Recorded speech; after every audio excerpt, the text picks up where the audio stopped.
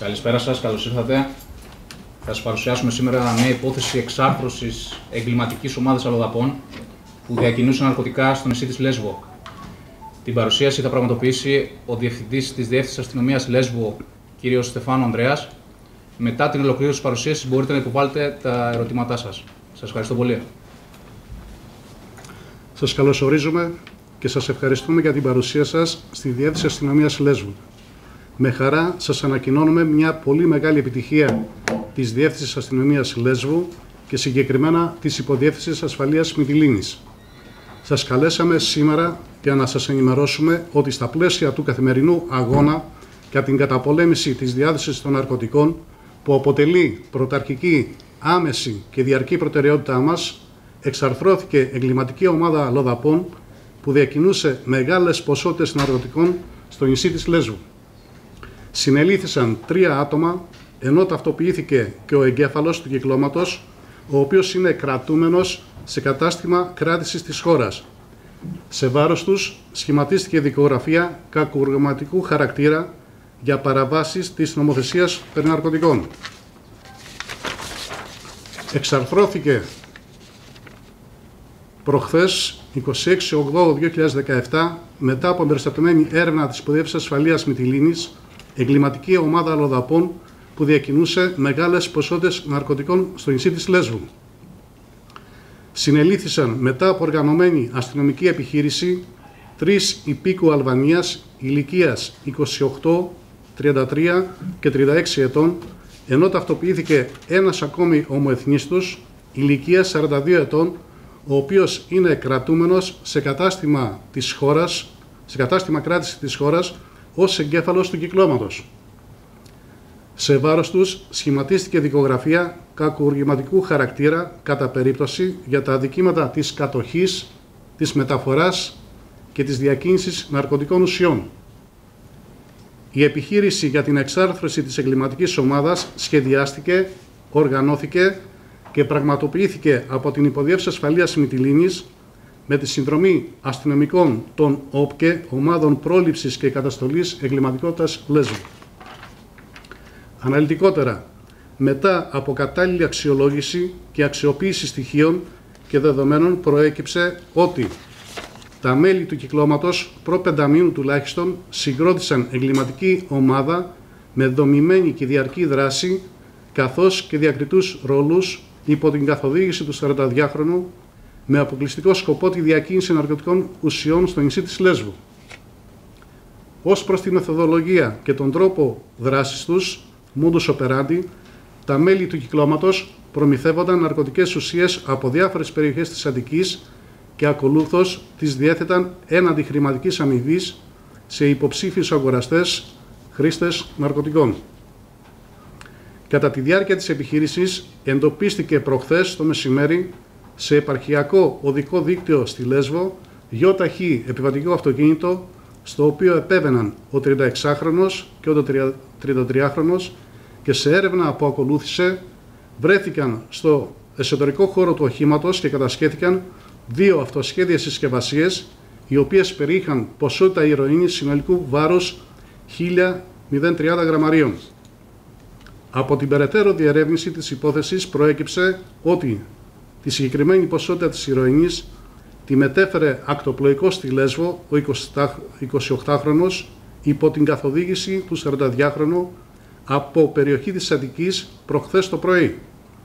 Ο 28χρονος εντοπίστηκε το απόγευμα της ίδιας ημέρας στο αεροδρόμιο της Μυτιλίνης και συνελήφθη. Στην κατοχή των δραστών αλλά και σε έρευνες που πραγματοποιήθηκαν σε μια οικία και σε ένα κατελημένο αγρόκτημα το οποίο χρησιμοποιούνταν για την απόκρυψη των ναρκωτικών βρέθηκαν και κατασχέθηκαν. Το χρηματικό ποσό των 1.065 ευρώ προερχόμενο από πώληση ναρκωτικών, τέσσερα κινητά τηλέφωνα, τέσσερις κάρτες SIM, πλαστικό δοχείο μεγάλης χωρητικότητας με υπολείμματα κάναβες, ακτοπλοϊκό εισιτήριο και διάφορα έγγραφα και παραστατικά. Επίσης, κατασχέθηκε το παραπάνω επιβατικό αυτοκίνητο ως μέσο μεταφοράς των ναρκωτικών ουσιών. Το προανακριτικό έργο και τις έρευνες διενεργεί η Υποδιεύθυνση Ασφαλείας Μυτιλίνης. Τέλος, θα ήθελα να συγχαρώ και να ευχαριστήσω όλο το προσωπικό που συνέβαλε στην επιτυχία αυτή. Ευχαριστώ. Ήταν, ε, όλοι αυτοί οι συλληφθέντες ήταν μόνιμοι κάτοικοι Λέσβου ή ήταν ε, προερχομένοι από άλλες περιοχές της Ελλάδας. Ήταν υπήκο Αλβανίας, αλλά έμεναν ε, εδώ στη Λέσβου. Είναι μόνιμοι κάτοικοι. Μόνιμοι κάτοικοι σε χωριά της Λέσβου. Έχουν ξαναπιαστεί για τίποτα; Στους Εράδες. Ε, ένας από τους ε, τρεις είχε εμπλακεί σε ε, κάποια επεισόδια σωματικές βλάβες, όχι για θέματα ναρκωτικών. Καμία σχέση η σύλληψή τους με την πρόσφατη εξάρθρωση κυκλώματος ε, στην Αθήνα, στον Πειραιά, που ψάχνεται και Η για προανάκριση συνεχίζεται, Ναι. οι έρευνες συνεχίζονται και θα επανέλθουμε όταν θα έχουμε νεότερα. Ο, ο εγκέφαλος είναι κρατούμενος για, άλλε- για άλλες παρόμοιες υποθέσεις. Ακριβώς ο εγκέφαλος είναι κρατούμενος πάλι για ναρκωτικά.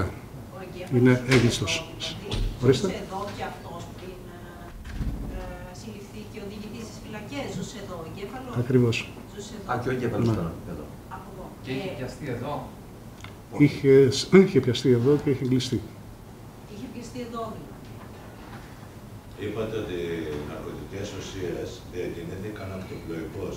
Υπάρχει ρήγμα μεταξύ της ασφάλειας ε, της λιμενικής υπηρεσίας και της υποδιάθεσης ασφαλείας; Κανένα ρήγμα. Απλώς ε, Πέρασε. πέρασαν. Τα μετέφερε όχι ο ίδιος, γιατί ο ίδιος ε, ερευνήθηκε, του έγινε έρευνα, αλλά προφανώς ε, τα είχε δώσει σε κάποιον άλλον, σε κάποια άλλη γυναίκα, σε κάποιο άλλο μέσο τέλος πάντων και μεταφέρθηκαν έξω στη στεριά. Θέλω να πω ότι είναι μια πολύ μεγάλη επιτυχία εδώ της Διεύθυνσης Αστυνομίας Λέσβου γιατί πρώτη φορά στα χρονικά έχει κατασχεθεί τόσο μεγάλη ποσότητα και μάλιστα σκληρού ναρκωτικού, ηρωίνης. Έχετε υπολογίσει την αξία της ε, χρήματα; Η αξία σε χρήματα, μ, περίπου από ό,τι γνωρίζω, μ, το γραμμάριο κυμαίνεται από 30 μέχρι 50 ευρώ. Τώρα, αν ε, πολλαπλασιάσετε επί χίλια, μας βγαίνουν περίπου 50.000. Όρος είναι αυτό. Και σε αυτή την υπόθεση και σε άλλες. Βλέπουμε ότι μέσα από τη φυλακή ξεκινούν. Ναι. Τώρα, Πώς γίνεται αυτό; τελικά ναι, στη φυλακή γιατί τη δουλειά σταματάνε. για να- Δηλαδή, Για με να ποιο οργάνονται τρόπο περισσότερο. κάνεις διακίνηση και σε εγκέφαλο μέσα από τη φυλακή. Α, Πρέπει να έχεις ένα Ναι. κινητό τηλέφωνο τουλάχιστον. Εγώ Εκεί έχω θα πάει η τηλέφωνο. προανάκριση, χρησιμοποίησε τηλέφωνα, δηλαδή τι- τι έκανε εκεί πέρα; Ε, Μην μου πείτε αυτά, ότι το, το τηλέφωνο της φυλακής τώρα διηγούσε ολόκληρο. αυτά είναι στοιχεία της προανάκρισης και Έχουν επισκεπτήρια. δεν μπορώ να... Έχουν επισκεπτήρια και αυτοί οι άνθρωποι. 10 λεπτά έχουν επισκεπτήρια με τον έξω κόσμο. Μιλάνε. Ο εγκέφαλος λέω έχει επισκεπτήριο. Μιλάει με κάποιο τρόπο. Εντάξει, όπως σας είπα, η προανάκριση συνεχίζεται και δεν μπορώ να επισέλθω έτσι και να σας πω λεπτομέρειες. Κύριε Στεφάνο, Παρακαλώ. υπάρχει τόσο μεγάλη ζήτηση σε σκληρά ναρκωτικά για να μια εγκληματική οργάνωση να προγραμματίζει να διακινήσει ένα κιλό ηρωίνης στη Μυτιλίνη; Μιλάμε για, για 5.000 δόσεις. Πού θα πήγαμε; Κοιτάξτε, το πρόβλημα των ναρκωτικών ε, δεν είναι τοπικό, ούτε πανελλαδικό, είναι παγκόσμιο, το γνωρίζετε. Έτσι. Δυστυχώς και εδώ στο νησί μας τα ναρκωτικά, ξεκινώντας από την κάναβη, το χασίς, κυκλοφορούν και σκληρά όπως η ηρωίνη, κοκαίνη, χάπια. Η υπηρεσία μας και συγκεκριμένα η Υποδεύση Ασφαλείας Μητυλίνης κάνει ό,τι μπορεί για την καταπολέμηση και ε, ήρθε αυτή η επιτυχία. Αυτή η επιτυχία δεν ήλθε από ένα τυχαίο έλεγχο, έτσι, παρακολούθηση, πληροφορίες, έλεγχη και καταλήξαμε και φτάσαμε στο σημείο αυτό, στην επιτυχία αυτή. Από ποια περιοχή, είπατε από χωριά, πρέπει να μας πείτε για γεωγραφική ενότητα. Ε, ε, στο κεντρικό και βόρειο τμήμα του νησιού.